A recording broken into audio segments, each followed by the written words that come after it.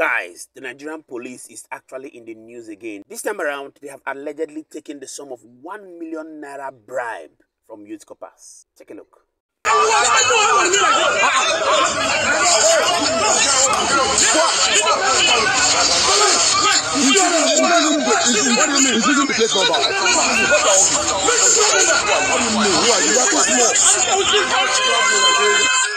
I know you are not kidnapping. You make any call. But I have to tell you.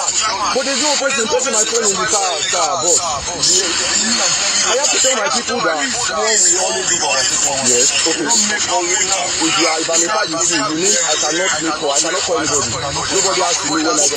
So when I get uh-huh. Again, Again, there are issues, there are issues in, our system. in our system. Um, Um, Ayo, Ayo, before you make before a you statement, make a Dr. statement, Bati Dr. wanted, Bati to wanted to also add also a add comment, a comment with with Bobrisky's Bob story really story quickly. I think it quickly. I had to think it had to very do a dark very man, dark really man, quickly. really quickly. And then, And then Bobrisky has returned to say where he's no longer committing suicide, planning to commit commit suicide. after After deleting deleting his, uh, his uh, Instagram, uh, uh, post. Post, We're letting we're the letting reminder the reminder that the risk of committing the error of semantic saturation to remind to him remind that him that attempted attempted suicide, suicide, if if anybody attempts suicide, it's a felony. it's a felony. Under section Under section 327 of the Criminal of the Criminal Code, Code, section section 231 of the Penal of the Penal Code, Code, and the punishment, and the punishment is is one year, one year with, uh, with, uh, you know, you uh, additional uh, fine. But he has fine. put it However- out there. It's the most important thing is that he has put it out there. That means he's he's contemplating. Uh, yes, he has reversed himself. He has even said, he has even no, but for public education. Because in this country, a lot of people say, I want to commit suicide, I want to commit suicide. If, if you commit suicide, you succeed, then, the sections of the law don't apply to you. Number two is that I saw very dark. You know, I responding to a conversation with uh, Fowles uh, at the instance of uh, Seun Kuti. He was saying that uh, Folarin Falana, the person to talk to is uh, Bobrisky, not him. not him. That he was the That one he was that, the that he was that- not the he one was that not the one that originated the originated the allegations. Again, Again, there's some, uh, some, uh, ignorance there. ignorance there. Re- saying that I was not the original publisher of uh, defamatory material. is no difference in law. If you republish it, the man who wants to sue can sue the second person who publishes. So it's up to Folarin Falana to decide on who to uh, publish. However, a very dark man made a point that he is fighting against corruption and he wants this matter to be resolved. And he says he stands by his story. I think that's commendable uh, in terms of what he's trying to do in public interest. However, they have uh, suspended about five correctional uh, service officers. How about the control, controller general This is the point I of raised immigration earlier. himself? This is the point I Where raised is the earlier. godfather Where is the picture? that took uh, somebody out of uh, prison and put him in, uh, you know, a place The outside prison? investigation must continue. It must continue. Let me talk about story, that um, um, video that we saw. You know, Oji, this could have been the replay of a number of videos that we've seen on social media. This story of a policeman extorting one million naira from corpers was um, raised on X by I think was an Olufemi uh, Oyeshipe. And he showed, and we, we see what played out. And I'm glad that the faces of these men are not covered, so it makes the investigation easier for the police force against to find out what really transpired. If you look at how a lot of people, you interview about 10 Nigerians, I dare to say 9 or 8 or 9 out of 10 have experienced being stopped by either police officers, VIO officials, LASMA, just FRSC, so many of them.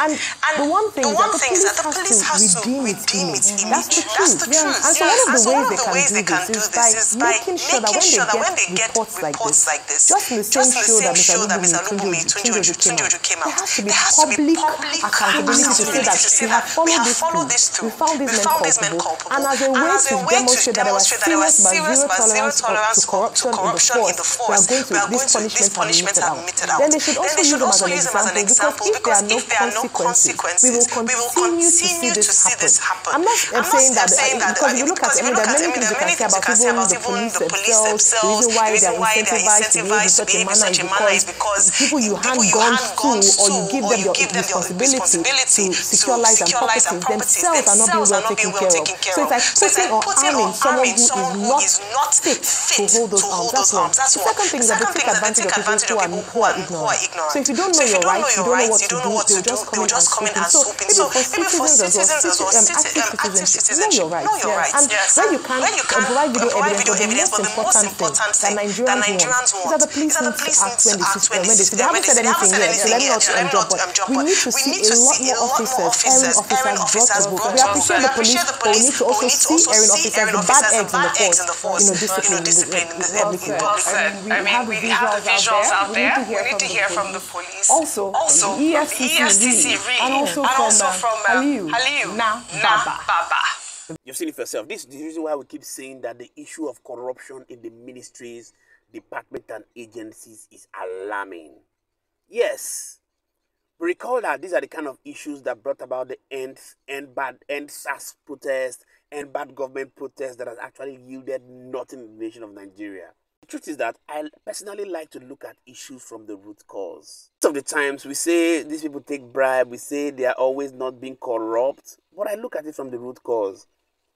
These guys that you employed and armed to become police officers, to become soldiers, what is their take home as compared to the economy of Nigeria today? If you want to be realistic, some people will say if you don't want the job, resign. Some of them don't even have the opportunity to go to for any go look for any other job, and it's like instead of me to just be doing nothing in this high rate of unemployment in Nigeria, I should just do it. And the truth is that they have to find a way and a means to survive. What do you expect from a person that is taking 100,000 naira in this country, 100 something thousand naira in this country? Yes, regardless of the issue of increasing minimum wage, I have never seen that as a solution to the problem of Nigeria, just like NLC and TUC also said. We must look at giving value to the naira. It's not about packing monies to give to people. A person goes into the market with a Ghana must go of money and comes back with a handful of goods. Of what use does the so-called minimum wage have on the on the lives of the people when the money you're giving to them has no value? It is only reducing the value of the naira. Yes, and I condemn that in strong terms. Reduction and devaluation of the naira. That is where the crux of the matter is. I was speaking to somebody sometime. I said, if I were the president of this country, I know that obviously for for a government to be running, the government also needs fund, and that's why they go ahead to increase fuel price and all that. But for me, that's not the best way to go about generating funds. Truthfully, if you need fund, there are basic things that Nigerians need. You can't go for those things to increase fuel price. No, I think that they should be going for things taxing things like like luxury items. Yes. If, if I were the president of Nigeria or a governor in these states, I will tax luxury items. Basic amenities like food, drugs, that are things that fuel that people would definitely use. You can never increase the tax on that. Because the margin between the poor and the rich in this country is so large. The difference is so much. So you should have gone ahead to tax major luxury items. For goodness sake, there are people that can do without those luxury items. He- heavily tax them. That is one way the government can go ahead to increase increase the revenue they need to run the government, not just by going ahead to increase taxes on the general goods. Like someone said, if you travel out of this country, there are basic things that are not expensive, the likes of food. There's supposed to be food security, even if nothing from the government is given to the people. They must have food security. There must be education security. There must be healthcare security. Every other area people can do well to handle it. What people are demanding from Nigeria is not even a much thing. They need good roads, they need lights, they need water, they need healthcare, they need education, they need food, they need fuel. Every other thing can can be left for the meantime. Please, we love you to do well to share these videos because when we take time to create these videos, the reason why we do it is so that either directly or by proxy, the government will stumble on these things and perhaps one day see reasons to come to the aid of Nigerians. Please do well to also drop your thoughts in the comment section. Let's get to know what you think about the current saga that is happening in Nigeria in different sectors, and we shall continually be here to serve you. Many thanks indeed to all our viewers and returning subscribers. We truly do not take it lightly.